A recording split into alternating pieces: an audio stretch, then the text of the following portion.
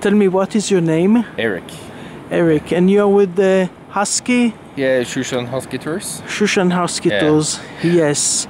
And you said that they were using this uh, sledge. Yeah.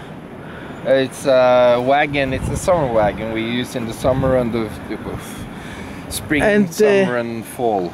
Uh huh. And you Yeah. s- and can you show me how you step on it, please?